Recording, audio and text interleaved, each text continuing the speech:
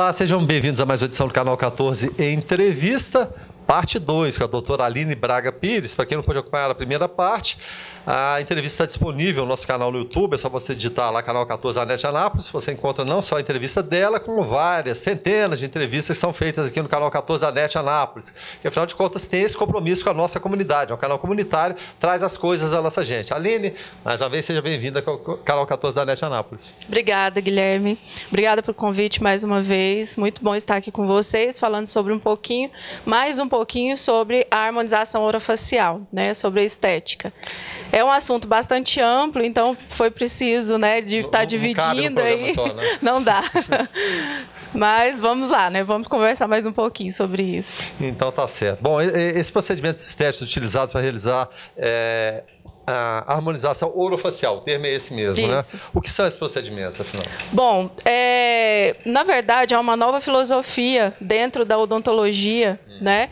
Nós já, já atuávamos né, separadamente, mas agora a gente é, atua formando esses protocolos. Né? São protocolos individualizados, cada paciente tem a sua maneira de ser diagnosticada, cada é, alteração, aquilo que ele acha, aquela, que ela acha que deveria modificar então, nós associamos alguns procedimentos junto com a toxina botulínica, os preenchedores com ácido hialurônico, é, microagulhamento, fios PDO, que são os fios é, que são os fios que dão sustentação à face, né?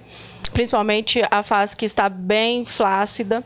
É, a blefaroplastia também nós utilizamos dentro da harmonização. Então, assim, são, é uma junção de vários procedimentos aliado à laser terapia. O que, que a laser terapia é, faz dentro desse, né, dessa junção desse ciclo? É, ela otimiza os resultados. Na verdade, cada um tem um resultado assim excelente, né? Faz uma modificação muito boa para o paciente. Mas a laser terapia ela otimiza, ela melhora. Ela traz a luminosidade, o brilho à pele. Né? Aquele viço, né? Que os artistas falavam, ah, esse menino tá sem viço, precisa de mais viço na pele. Traz aquela alegria, ah, né? Sei.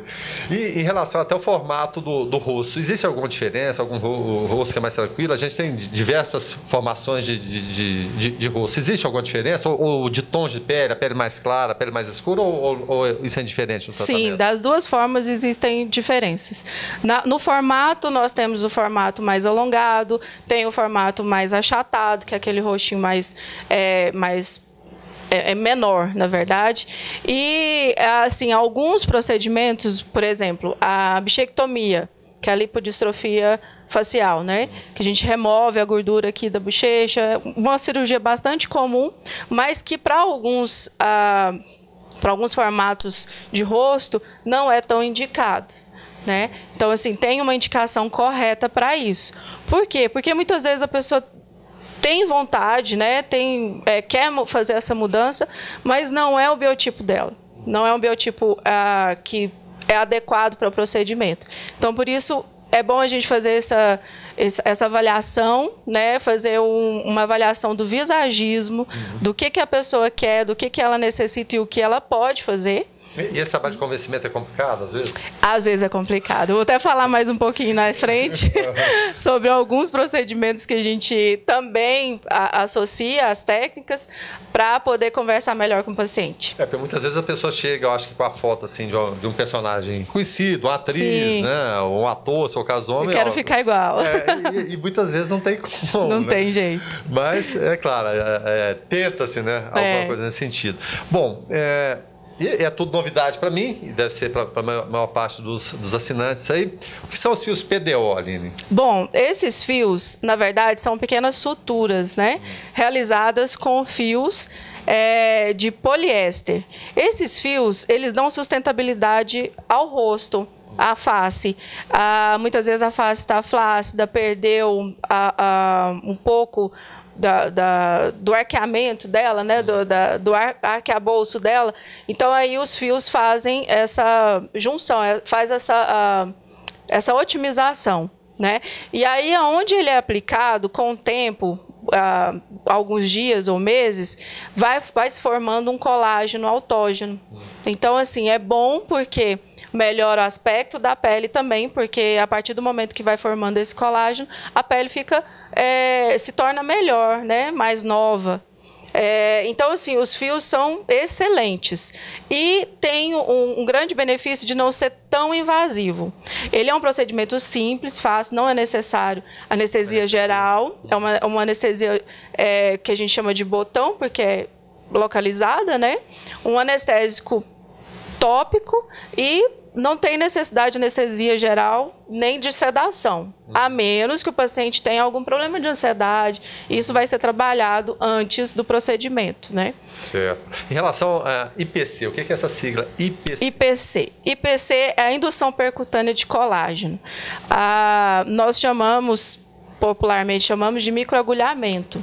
Então, assim, são microinjúrias, microlesões realizadas na face, lógico, com anestésico tópico, é, não é necessário também anestesia, anestesia, geral, é um procedimento simples, não tão invasivo, e que vai a, auxiliar na formação desse colágeno autógeno, no colágeno do próprio organismo. Né? E renovação das células, porque a partir desse momento que é feita essa injúria, as células vão se renovando. E isso com o passar do tempo por vários dias, né? no, no mínimo aí uns 15 dias. É, eu diria até não sei se eu posso fazer essa, essa analogia, na, na, musculação os músculos crescem por quê? Porque você destrói e eles reconstroem durante a malhação. Sim. Seria alguma coisa nesse sentido, ou indução nesse sentido, de reconstrução? Sim, só que aí é mais a nível de epiderme, de hum. derme. Não é tão profundo, Sei. tá? Ah, esses procedimentos são mais, um pouco mais superficiais, é, mas dão a, resultado. A, a, a, pele, os músculos são bem mais sensíveis também. Sim, sim, né? sim. Sem dúvida nenhuma. Sim. E, bom, aí você falou de, de, de procedimentos, mas e para otimizar esse, esses procedimentos né, estéticos, né? E, e, e, quais os benefícios? O que, é que você deve fazer? Após o tratamento, a pessoa, por exemplo, pode tomar sol, não pode? Como funciona isso? E eu vi que você trouxe uma série aqui de, Sim, é, é... de, de, produtos que a gente vai falar posteriormente. Bom, mas eu não sei nem se assim. cabe nessa, nessa pergunta aqui. Então, o que acontece? Muitas vezes a, o paciente, a paciente acha que vai lá no consultório, faz o procedimento e aí. Pode ir para piscina ou para o mar. É, no dia já fala assim: posso ir para academia, doutora? Não, não tem como, né? Pelo menos no dia tem que guardar repouso. Uhum. Dependendo do procedimento, eu peço até uns três dias de repouso. Não de fazer exercício físico, mas pode trabalhar normalmente. E conversar normalmente, porque tem gente que conversa muito, por exemplo, muita risada, é... a alimentação, a mastigação, a gente sabe que. E mímica. Tem, tem restrições também? Tem. No caso do Botox, evitar mímicas. Hum. No caso de uma cirurgia, bichectomia, por exemplo, tem que ter o repouso de três dias para falar, né? Assim, evitar ficar conversando, porque... O excesso, né? O excesso, uhum. exatamente. Devido à sutura que está interna, né? Uhum. Ah, agora, para a maioria dos procedimentos, é a hidratação, a, a proteção solar, proteção a, a UVA, UVB, uhum. né, com bloqueadores solares. É, muitas vezes o paciente necessita de uma suplementação, nesse caso, um colágeno hidrolisado, um magnésio, vitamina C. Tá? Porque a, o colágeno hidrolisado, por exemplo, a partir dos 30 anos, nós, o nosso organismo não produz mais. Né? Ou é uma, uma é, um déficit muito grande de colágeno. Uhum. Por isso que a gente tudo cai, né? Por isso que a gente a tem essa é a lei da gravidade. então assim, é preciso suplementar. Ah, mas vai causar intoxicação? Olha, geralmente você tem que, geralmente não, sempre você tem que ter uma orientação profissional adequada. É, mas assim, nada de exageros. Ah, geralmente, se você for tomar uma cápsula, é uma cápsula por dia. Se for o hidrolisado em pó, colágeno hidrolisado em pó, duas colheres, né? Sempre indicação do fabricante e nada mais que isso. Por quê? O seu organismo vai absorver somente isso. E as moléculas do colágeno são moléculas grandes, maiores. Então, é por isso que tem que ser hidrolisado, porque ele é quebrado para ser absorvido. Né? E ele é utilizado não só na pele, nos tendões, ah, nas articulações, nos ossos, na, na, na, sustentabilidade do tecido, porque ela vai fazer a ligação entre as células do tecido, de todo o nosso organismo. Né? É, a, vitamina, a vitamina A a, desculpa, a vitamina D, ela é essencial para a imunidade, tá? É, a gente ouve dizer assim, ah, tem que tomar sol para ter, para sintetizar a vitamina D. Essa vitamina é a vitamina da vitalidade. A gente chama de hormônio ah, da vitalidade, né, da vida, porque realmente ela traz assim é uma energia para as células. Sente isso, né? Quando você toma o sol nos horários apropriados, você sente bem, né? Sente melhor, é. O humor melhora, uhum. a imunidade aumenta. Então, assim, é necessário. Quando a pessoa tem déficit, ela tem problema com raquitismo, com fraturas, com osteoporose, é, osteomalácia. Então, são vários, vários e, e até mesmo câncer. Também. Se não me engano, são 17 ou 15 tipos de câncer que combate, que evita, uhum. né? Lógico que se tiver a formação já no organismo, né, o médico tem que tratar. Mas para evitar é necessária a vitamina D, né? O magnésio, ele também auxilia bastante na parte muscular, na, na força muscular, né, força física, até mesmo para quem faz academia, é muito bom, dá uma, uma energia, né, aumenta a energia nas células, a sintetização do ATP, que causa energia nas células, faz uma limpeza no organismo. É, para quem tem constipação intestinal, ajuda bastante. É, e, e, lógico, para a pele, né? Para formação desse novo colágeno, ele auxilia bastante. lembrei da tabela periódica agora: magnésio, cálcio, ah, é. e rádio. Dos produtos químicos. em relação a, a preenchimento botox, quais as principais indicações, Marlene? Bom, o botox ele é um, um líquido, né? Que a gente já já falou sobre ela, uma toxina botulínica do tipo A ela, em doses é, terapêuticas, ela não é prejudicial à saúde, tá? É, a, vai com pequenas quantidades, a gente utiliza muito unidades, né? É, são gotinhas mesmo. É, na, na, musculatura da face, ela vai paralisar temporariamente. A atuação dela é entre 3 ao 10, do terceiro ao 15 quinto dia. E ela age de três meses a seis meses. A partir daí tem que fazer novamente, né? novamente. né? Fazer a nova aplicação. Ah, muito indicado para as rugas estáticas, que são aquelas rugas que quando a gente é, para de tracionar o músculo, ela some. Né? Porque as rugas mais profundas é necessário um, um procedimento mais um pouco mais invasivo tá? Então, para as rugas mais estáticas. É, não tem problema de intoxicar o organismo, tem muita gente que pergunta sobre uhum. isso. Ah, vai me intoxicar, é toxina botulínica, o próprio nome já diz. Mas é uma toxina segura, né? Do tipo A, ela é segura. É, igual falei, em doses terapêuticas, nada de exagero. É, né? Os preenchedores, existem os preenchedores permanentes, que são PMMA, polimetilmetacrilato, o nome é difícil, é. mas é, para nós é menos utilizado. Nós utilizamos bem menos. Assim, eu posso falar que eu não utilizo no meu consultório. Eu prefiro o ácido hialurônico.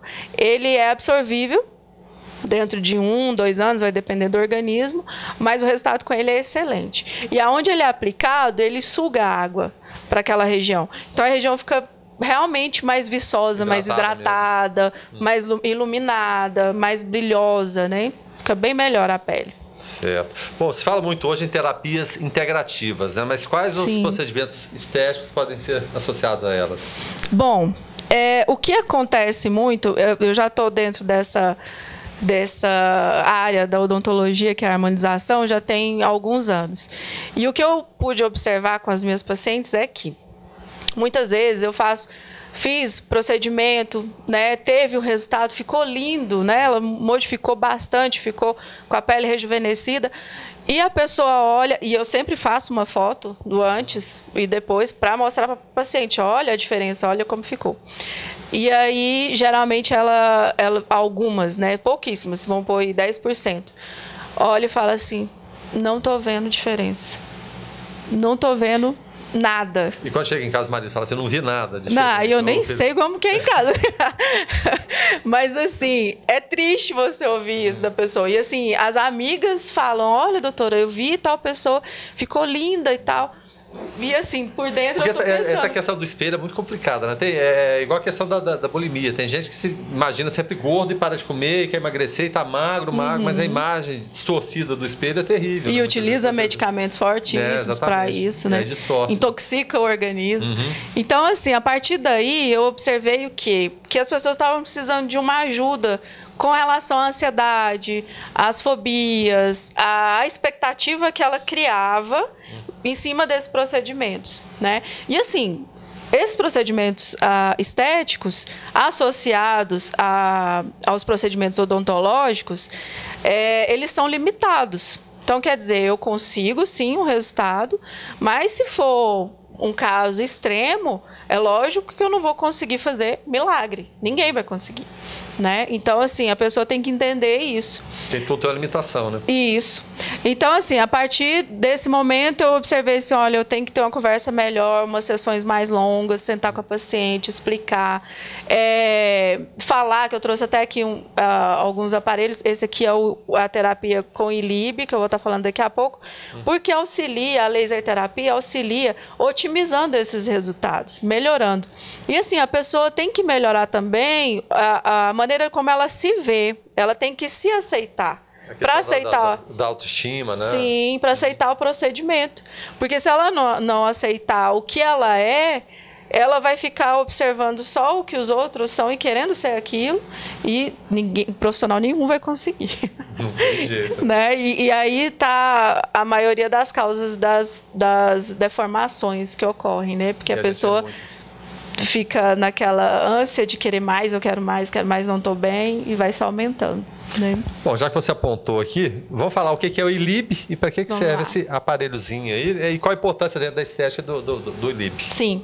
Esse aqui é a terapia ILIB, terapia com laser. Tem- nós temos a terapia com laser de é, vermelho, infravermelho, são lasers terapêuticos de baixa potência. Qual que é a ação deles no organismo? A, ele vai me auxiliar aumentando a oxigenação das células, aumentando, irradiando no sangue esse laser e aumentando a, a movimentação do sangue no organismo. O fluxo mesmo, né? Isso, melhorando o fluxo. É, ele, ele causa, a, ele ajuda na formação do colágeno autógeno. Muitas vezes a pessoa, ah, eu não quero suplementar, né, eu não quero fazer uso de nenhum medicamento, faça terapia ele não vai ser invasivo, não tem nada invasivo, porque ele é uma luz que está colimada, que vem através da fibra ótica, que é essa, essa partezinha aqui. É, tem o tempo de 15 minutos, 30 ou uma hora, vai depender do protocolo, né? Tá vendo? E aí a gente utiliza a pulseira no pulso, é irradiado na artéria. é, A pulseira é, com- é complemento. então, é complemento. Na verdade, essa pulseira que a gente utiliza para o braço. Coloca na, no pulso, na artéria radial. Por que que... parte aqui do lado de dentro mesmo. Sim, sim, porque essa aqui é uma proteção, tá? Que coloca na pele, uma proteção, e aí é encaixado bem aqui na, na fibra ótica. É, e também é utilizado com outros protocolos em, nos membros inferiores, na cabeça, no pescoço. Vai depender de cada, de cada é, alteração que o paciente tem e o que, que ele vai querer, né? E tem que ser utilizado por um profissional capacitado. É, a gente sempre É. isso, né? Porque não, né? é, apesar de ser um laser terapêutico de baixa intensidade, ele tem que ter tem a dose certa, tem o tempo certo, né, para cada Então, vamos caso. voltar pro Darlan ali, então. Tô brincando. Bom, continuando aqui. Vamos lá. Aí aqui eu trouxe para vocês darem uma olhadinha no, nos produtos que a gente faz a suplementação. E geralmente quando o paciente vai fazer a harmonização orofacial, a gente detecta alguma deficiência, o que está necessitando, e a, a gente monta um kit home care que vai utilizar em casa, né?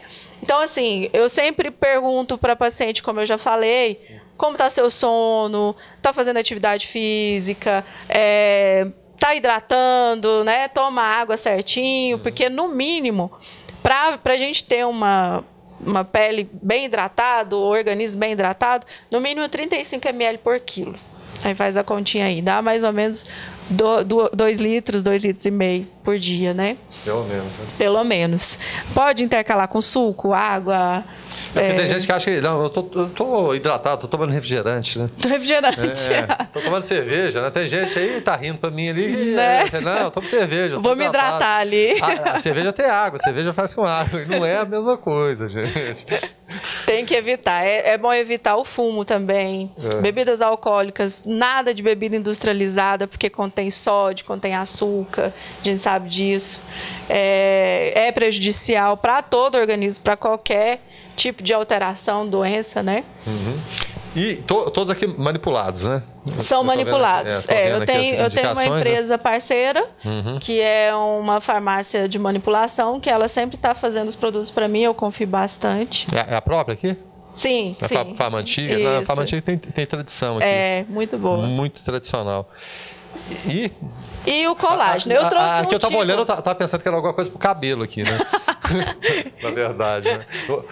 Parece, parece, algum produto pro, pro cabelo. Que o colágeno, na verdade, ele auxilia bastante na, na como que fala, na saúde do cabelo, da pele, da unha. Ah, né? então faz sim, por isso aparecendo. Por isso também. aparece. É. É. e esse aqui é bom porque ele tem suplementação das vitaminas A, E, C, Uhum. B, B12. Mas esse aqui eu é, já compro pronto, esse não é, não é Sim, manipulado. é isso. Uhum. Não, tenho manipulado, é, também, né? né? Mas esse aqui é só um exemplo que eu trouxe, porque tem algumas empresas que a gente confia. Uhum. Né? E aí... estabelece essas parcerias também, né, Aline? Sim, sim. Acho é. um, uma rede de confiança. E tem né? que ter qualidade. A gente uhum. busca produtos de qualidade, realmente. Não adianta você fazer o tratamento, na hora de colocar os produtos, colocar um produto que não é especificado. Não vai me ajudar em nada, é, né? Não, não, vai resolver de forma nenhuma, né? Puxa vida, que, é que bacana. Aí. Isso aqui foi só para vir aqui dentro, né? É, só para vir nessa colinha mesmo. Então tá certo. Aline, ficou faltando alguma coisa para a gente falar? porque é tanto é um universo tão, tão, tão é vasto essa questão coisa, da, né, da estética, né, integrada à odontologia, mas o, o, o, fundamental é isso que a Aline falou, né? Você procurar o profissional adequado, né? Uhum. Profissional treinado, são cursos mais cursos que você faz durante o ano. Nossa, Às vezes a gente procura a Aline, cadê a Aline? Não, está em São Paulo fazendo curso. Não, a Aline está. Oh, a mulher só faz curso. Brasília. É, e isso faz parte do processo, é a renovação, porque a tecnologia né, é. Vai modificando. E as informações são assim, velocidade da luz, né? Eu, eu até falei na, no programa anterior sobre a luz do laser é, vermelho e infravermelho. Vou só falar assim uhum. um pouquinho mais, só para ficar certo. bem explicado. O laser vermelho, ele é um laser terapêutico que atua nas células mais da superfície. A bom, da, da, da, epiderme, da derme, né? E me auxiliando aí na, nas terapias dentro dos protocolos para a otimização desses protocolos que eu faço.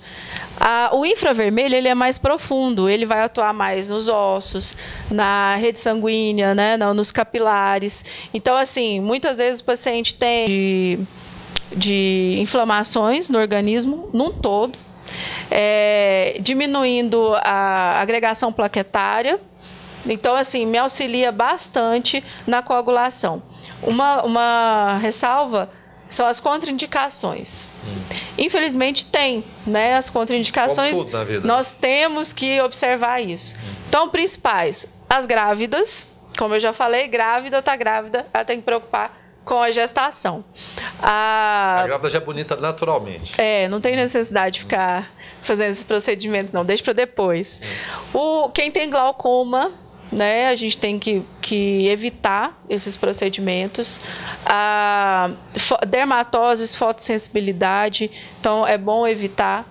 No caso do melasma, a gente evita o laser é, vermelho, utiliza somente o laser infravermelho para ativação dos, dos cosméticos utilizados, né? Então, assim, a, a, no mais é isso. A, a, as contraindicações são poucas. Ah, também a, quem faz uso de antibiótico, uhum.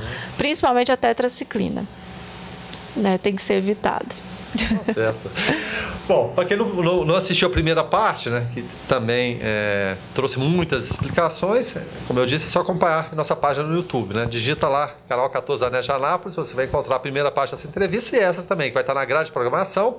Você que está vendo agora, ela passa em horários diversos da nossa grade, mas de repente não teve tempo, vai lá no YouTube, esclareça as dúvidas com a doutora Aline. Mais uma vez, muito obrigado pela, pela gentileza de falar um pouquinho de estética, de beleza aqui. Tá é um assunto sempre bom, que todo mundo tem interesse, né? É muito bom estar falando sobre isso. Obrigada, Guilherme, mais uma vez o convite. Muito bom estar aqui com vocês. Então tá certo. Esse foi mais um Canal 14 entrevista hoje com a doutora Aline Braga Pires. Até logo mais.